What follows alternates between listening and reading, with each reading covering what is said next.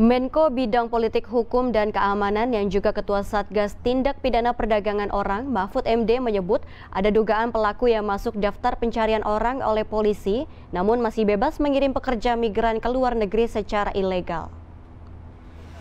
Menurut Mahfud, dari laporan yang ia terima, ada dua orang mafia sindikat, sindikat perdagangan orang yang masuk DPO polisi namun tetap menjalankan aksinya di Batam. Mahfud pun mengaku bingung DPO bisa menjalankan kegiatannya secara bebas di Batam. Sehingga muncul dugaan sindikat perdagangan orang bekerja sama dengan aparat sebagai backing sehingga sulit ditindak dan kebal hukum. Saya bicara dengan lintas KL ya, yang baru ketemu tadi secara resmi tapi saling tukar informasi. Kesimpulannya ya kita akan segera melakukan tindakan-tindakan yang lebih tegas.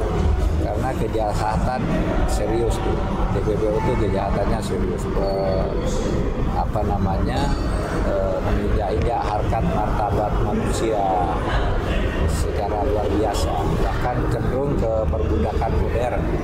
Perbudakan modernnya justru lebih lebih jahat dari perbudakan zaman dulu. Kalau kalau ini